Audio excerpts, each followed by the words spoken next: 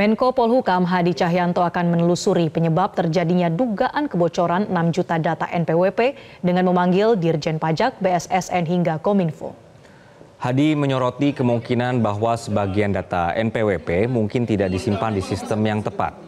Sehingga pemanggilan tersebut menurut rencana akan dilakukan pada tanggal 27 September mendatang dan diharapkan dari pertemuan ini akan terungkap penyebab kebocoran datanya apa.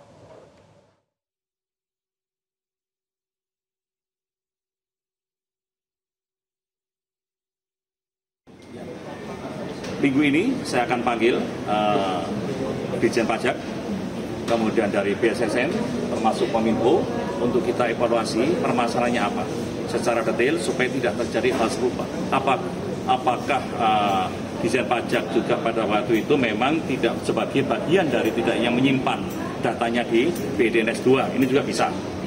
Ya, dan apa uh, kira-kira uh, kelemahan sehingga bisa terjadi hal seperti ini. Sejauh ini memang belum diketahui penyebab kebocorannya ya Pak?